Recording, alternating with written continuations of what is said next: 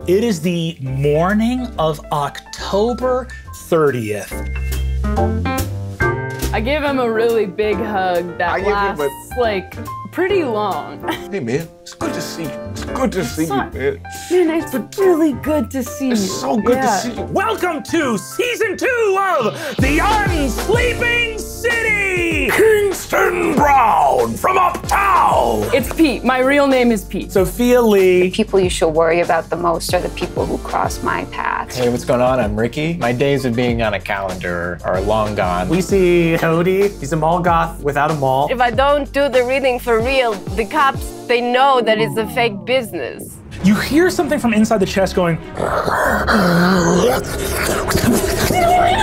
A light. The chest looks like something's trying to wrench the chest open. Okay, well, this is new. This is a new thing. Things are different this time. Okay. What need do I have for delicates? You can start to make your own reality. Nat 20! Okay, all right. Forgive What a me. weird conversation. Where's your sword, bro? I have 12. We come now to battle. Um,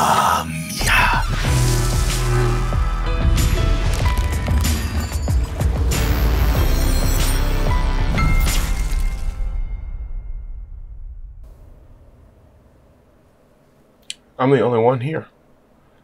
Does that mean I'm in charge? Does it mean I can make the game whatever I want it to be? Yeah, I don't. I should be given this responsibility.